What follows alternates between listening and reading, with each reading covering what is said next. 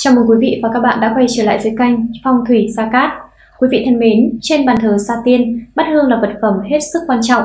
Bát hương là nơi thắp nhang để tưởng nhớ đến công ơn tổ tiên và các vị thần linh. Bát hương vốn là vật vô tri và chỉ sau khi thực hiện các thủ tục bốc bát hương đúng cách thì mới có linh khí, là nơi thông linh giữa gia chủ và các vị thần linh Sa Tiên.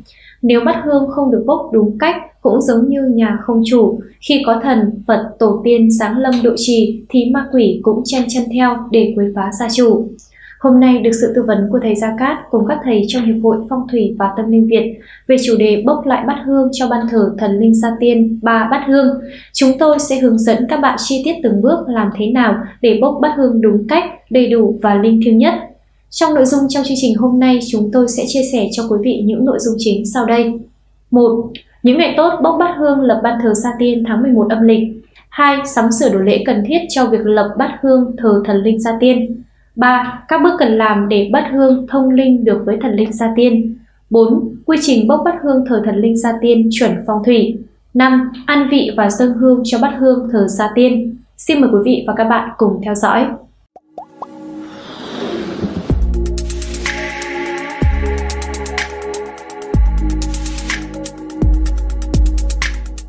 1. Những ngày tốt để bốc lại bát hương hay lập ban thờ mới trong tháng 11 âm lịch bao gồm những ngày sau. 1. Ngày mùng 4 Giáp Thân, 2. Mùng 6 Bính Tuất, 3 là mùng 8 Mậu Tý, 4 là mùng 9 Kỷ Sửu, 5 ngày 15 Ất Mùi, 6 16 Bính Thân, 7 ngày 17 Đinh Dậu, 8 24 Giáp Thìn, 9 ngày 25 Ất Tỵ, 10 ngày 29 Kỷ Dậu. Đó là 10 ngày tốt để bốc lại bát hương cho ban thờ Sa Tiên đầy đủ 3 bát hương trong tháng 11 âm lịch. Quý vị hãy chọn ra cho mình một ngày phù hợp nhất với mình để tiến hành bốc bát hương cho được thuận lợi và may mắn. Hai là đồ lễ. Bốc bát hương lập ban thờ mới hay bốc lại bát hương là để nghênh đón thần linh và gia tiên về phù trợ cho gia đình, nên việc sắm sửa đồ lễ cũng hết sức quan trọng. Để việc lập ban thờ được chỉn chu và chính xác, hôm nay chúng tôi sẽ giới thiệu với quý vị và các bạn những đồ lễ để lập ban thờ mới hoặc bốc lại bát hương tháng 11 âm lịch cần có những lễ vật sau. Quý vị có thể tham khảo, đồ lễ có thể thay đổi theo văn hóa từng vùng miền hay địa phương, nhưng cơ bản sẽ bao gồm những lễ vật sau. Gà luộc một con, một đĩa thịt quay hoặc thịt luộc, một đĩa bánh bao chay 5 hoặc 15 chiếc, một đĩa chè, thuốc, trầu cau, một mâm cơm, canh, xôi hai đĩa, hai đĩa hoa quả, mỗi đĩa 5 hoặc 15 quả, bánh kẹo, rượu, một đĩa gạo, một đĩa muối, hoa, 5 hoặc là 15 bông nên sử dụng số bông lẻ, một đèn dầu cộng với hai cốc nến hoặc cây nến. Đồ mã thì gồm có một quần áo mũ ngựa thần linh to cộng với năm quần áo mũ ngựa ngũ phương cộng với năm đinh tiền vàng, bộ quần áo ông bà tiền chủ, hậu chủ, hai vòng hoa đỏ đại, hai vàng ngũ vị phương, ba tập tiền tào quan, Ngoài ra quý vị và các bạn cũng cần chuẩn bị thêm là hương, chuông lệnh, chuông hiệu nếu có. 2. Chuẩn bị cốt trong bát hương. Bát hương được làm đúng pháp là phải có cốt thất bảo. Cốt bát hương có 7 thứ báu gọi là thất bảo như là vàng, bạc, ngọc phỉ thúy, ngọc trai, mã não, san hô, hổ phách, được bọc bởi một tờ giấy trắng kim dùng bút đỏ đã được làm phép chú bút, chú giấy, chú mực, ghi một số chữ do pháp sư hay là thầy cúng ghi, chữ thiên do các vị thánh ngự ghế viết, Lưu ý là cẩn thận với các loại giấy trang kim giả, thất bảo giả, bán sẵn hay là cho bùa chú vào bát hương. Quý vị hãy liên hệ với thầy Sa Cát cùng đội ngũ trợ lý của thầy ở kênh của chúng tôi để được tư vấn chính xác nhất. Trước đây các cụ thường lựa chọn loại rơm nếp được cắt và làm sạch sẽ sau đó phơi khô và để riêng. Trước khi đốt rơm nếp thành cho thì dùng rượu gừng vẩy lên để tẩy uế. Còn hiện nay loại cho này được bán sẵn ngay tại các cửa hàng mã hoặc là cửa hàng bán đồ thờ cúng, hoặc là dùng cho chấu nếp rất tốt bởi chấu bọc gạo là hạt ngọc của trời, nó thanh sạch và cao quý. Lưu ý là không được sử dụng cát vào trong bát hương bởi vì cát mang tính tà có lẫn nhiều tạp chất, vậy nên khi sử dụng cát để vào bát hương sẽ làm bát hương có lẫn những tà khí và không tốt. Ba là tờ di hiệu Tờ di hiệu là tờ giấy màu vàng dùng để ghi tên cho bát hương, nhờ có tờ di hiệu mà biết được bát hương đó thờ ai. Chú ý khi tờ di hiệu phải ghi đúng và tránh bị ghi ngược. 4 là giấy trang kim. Giấy được tráng một lớp vàng dùng để gói thất bảo, bảo vệ thất bảo không bị cháy khi bát hương hóa cũng như lưu giữ linh khí của thất bảo, giúp cho bát hương được linh thiêng hơn. Năm là ngũ vị hương, là tổng hợp của những thảo mộc quý như quế, hồi, hoàng đàn, trầm, sử dụng để tẩy uế và làm cho bát hương thơm tho, sạch sẽ. sáu là gạo vàng thần tài, sử dụng để kích tài và điều hòa ngũ hành cho bát hương, trong khi bốc bát hương và sử dụng trầm để sông giúp cho bát hương không bị hóa. 7 là trầm, sau khi bốc bát hương xong sử dụng trầm để xông khí tẩy uế cho bát hương, giúp bát hương sạch sẽ và thơm tho hơn trước khi làm lễ. Các bước chuẩn bị bốc bát hương thần linh gia tiên vào dịp cuối năm hoặc khi nhập trạch vào nhà mới hoặc lập lại ban thờ. Sau khi chọn được ngày giờ đẹp để tiến hành nhập trạch hoặc bốc bát hương, lập lại ban thờ, chúng ta tiến hành bốc bát hương. Tại kênh Phong Thủy Gia Cát, ngày đẹp để bốc bát hương tôn cấp lập thờ sẽ được gửi cho gia chủ. Quy trình bốc bát hương như sau. 3. Quy trình bốc bát hương thần linh gia tiên cho ban thờ ba bát hương. Trên ban thờ gia tiên thờ ba bát hương bao gồm bát hương thần linh thổ công ở giữa, bát hương gia tiên bên trái theo hướng đứng cúng, bát hương bà cô ông mãnh bên phải theo hướng đứng cúng. Để bốc bát hương cho ban thờ, ba bát hương ta bốc lần lượt các bát hương theo thứ tự như sau. Đầu tiên là bốc bát hương thần linh thổ công, tiếp đến bốc bát hương gia tiên, cuối cùng là bát hương ông Cuối cùng là bát hương bà cô ông mãnh. Chi tiết bốc từng bát hương và ghi tờ di hiệu như sau. Với bát hương thần linh gia tiên, ghi là phụng thờ thần linh thổ địa chư vị tôn thần. Bát hương gia tiên, phụng thờ hội đồng gia tiên họ. Bát hương bà cô ông mãnh, phụng thờ hội đồng bà cô ông mãnh họ.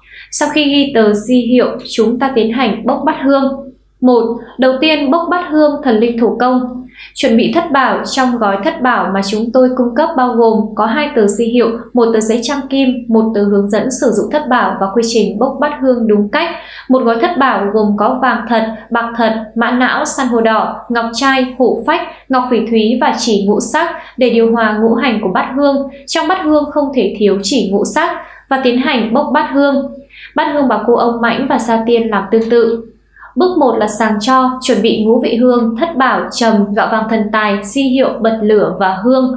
Bước 2, sau khi sàng lọc cho nếp sạch sẽ, chúng ta tiến hành trộn cho với ngũ vị hương. Trong quá trình trộn cho nếp với ngũ vị hương, tâm ý phải hợp nhất, toàn tâm toàn ý nghĩ về việc bốc bát hương. Khi đó bát hương mới linh ứng. Ngoài ra phải đọc ngũ bộ chú trong quá trình trộn cho nếp như hướng dẫn mà thầy Gia Cát và chúng tôi đã có hướng dẫn gửi kèm trong bộ thất bảo. Sau khi trộn cho nếp đều với ngũ vị hương, cho nếp từ màu đen tuyền chuyển sang có ánh vàng của bột ngũ vị hương và có hương thơm dễ chịu. Trộn đều cho nếp với ngũ vị hương xong, ta chuyển sang bước tiếp theo. Bước 3 là gói thất bảo. Trong bộ quất thấp bảo mà chúng tôi gửi cho các bạn có kèm theo hai tờ di hiệu và tờ giấy trang kim, cộng với một nụ trầm để sông bát hương. Quý vị và các bạn bóc gói thất bảo ra, lấy tờ di hiệu ghi lên bát hương thờ ai. Như đã hướng dẫn của kênh chúng tôi đã gửi kèm trong gói thất bảo, sau đó gấp gói thất bảo lại, đặt vào mặt sau của tờ di hiệu, gấp tờ di hiệu làm ba theo chiều ngang, sau đó gấp đều theo chiều dọc của tờ di hiệu từ dưới lên trên. Gấp xong tờ di hiệu, chúng ta lấy tờ giấy trang kim đặt ngược lên bàn, đặt tờ di hiệu đã gói thất bảo bảo vào, sau đó gấp sao cho vuông vắn, đẹp đẽ. Khi đã gấp xong, ta chuyển sang bước tiếp theo. Bước 4. Khi đã bao sái tẩy uế bát hương sạch sẽ bằng rượu ngũ vị hương hoặc rượu gừng, ta đặt bát hương lên bàn sạch và tiến hành bốc bát hương. Đầu tiên chúng ta rắc một ít gạo vàng thần tài xuống đáy bát hương khoảng 1 phần 3 gói. Tiếp theo chúng ta đặt gói thất bảo vào chính giữa bát hương, sao cho đầu dưới của thất bảo hướng về mặt nguyệt bát hương. Đặt xong thất bảo, ta tiến hành bốc từng bốc cho nếp vào trong bát hương. Khi cho nếp đến khoảng một nửa bát hương, ta dừng lại rắc tiếp 1 phần 3 gói gạo vàng thần tài đều lên trên bề mặt cho nếp. Tiếp đến lại bốc cho vào bát hương. Khi cho nếp đến miệng bát hương thì tiếp tục rắc số gạo vàng còn lại vào trong bát hương. Lưu ý ở giữa bát hương nên rắc gạo vàng thần tài nhiều hơn những chỗ khác để khi đặt cây trầm lên sông bát hương không bị hóa, cắm hương không bị đổ gây nên sự lo sợ cho gia chủ. Để tránh việc này, chúng ta cần phải rắc gạo vàng thần tài nhiều hơn ở giữa để khi trầm sông xong không bị hóa bát hương. Sau khi rắc gạo vàng thần tài hết, ta chuyển sang bước tiếp theo. Bước 5. Vệ sinh sạch sẽ bát hương và sông trầm tẩy uế cho bát hương. Trong quá trình bốc bát hương cho nếp có thể làm bẩn bát hương, quý vị và các bạn hãy dùng khăn sạch, sử dụng nước ngũ vị hương hoặc rượu gừng lau lại toàn bộ bát hương. Sau khi lau chùi sạch sẽ bát hương, đặt bát hương lên bàn sạch sẽ, nên dùng vải đỏ làm khăn trải bàn để nụ trầm mà chúng tôi gửi kèm trong hộp thất bảo vào chính giữa bát hương để xông khí tẩy uế cho bát hương. Đợi cho nụ trầm cháy hết, ta tiến hành dâng bát hương lên ban thờ và cắm hương. Như vậy là quý vị và các bạn vừa theo dõi cách bốc bát hương thần linh trên ban thờ gia tiên. Hai bát hương gia tiên và bà cụ ông mãnh cũng bốc tương tự như vậy. Quý vị cần lưu ý thứ tự bốc, bát hương thần linh trước, tiếp theo là bát hương gia tiên, sau cùng là bát hương bà cô ông mãnh. Cần lưu ý viết tờ di hiệu theo hướng dẫn của thầy Gia Cát và chúng tôi chia sẻ để tránh nhầm lẫn giữa ba bát hương khi dâng lên ban thờ. Sau khi bốc xong ba bát hương, ta tiến hành dâng bát hương lên ban thờ. 4. Dâng bát hương lên ban thờ gia tiên. Sau khi bốc xong ba bát hương, ta đặt lên bàn sạch có trải vải đỏ và tiến hành sông trầm, bốc xong bát nào, sông bát đó luôn. Khi trầm cháy hết, ta lần lượt dâng bát hương lên ban thờ theo thứ tự sau. Bát hương thần linh thủ công dâng lên trước, đặt ở chính giữa ban thờ, chỉnh cho mặt nguyện bát hương cân đối, chúng ta tiến hành thắp năm nén hương theo thứ tự, quay một ở giữa, quay hai ở phía sau bên phải, quay thứ ba ở phía trước bên trái, quay thứ tư ở phía sau bên trái, quay thứ năm ở phía trước bên trái. Thứ tự cắm nhang như sơ đồ trên màn hình, các bạn theo dõi và làm đúng nhé. Sau khi thắp hương bát hương thần linh, ta tiến hành dâng bát hương gia tiên. Bát hương gia tiên nên đặt trên một bát hương thần linh thủ công theo hướng đứng cúng. Đặt bát hương xong, ta thắp hương tương tự như bát hương thần linh. Cuối cùng ta dâng bát hương bà cụ ông mãnh lên, bát hương bà cụ ông mãnh ở bên trái theo hướng đứng cúng. Dâng lên xong ta chỉnh cho ngay ngắn rồi tiến hành thắp hương như hai bát trước. Sau khi dâng đủ ba bát hương lên ban thờ, ta bắt đầu khấn lập và ăn vị bát hương theo hướng dẫn mà thầy Gia Cát cùng chúng tôi gửi cho các bạn khi thỉnh thất bảo.